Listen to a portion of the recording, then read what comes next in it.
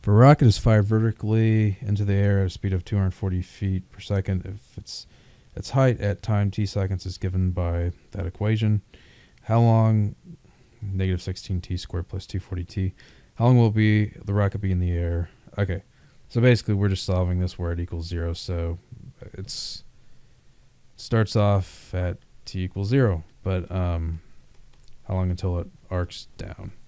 Okay, so course factor that out. So negative 16t plus 240. So negative 16t is equal to 240. And then I'm solving for inside because t is equal to 0 out here. Divide through by negative 16. And this should be negative 40. 240. All right, 240. 240 divided by 16. I have no idea, but it looks like 15 seconds.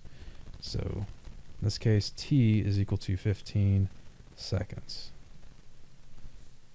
And it looks like answer C.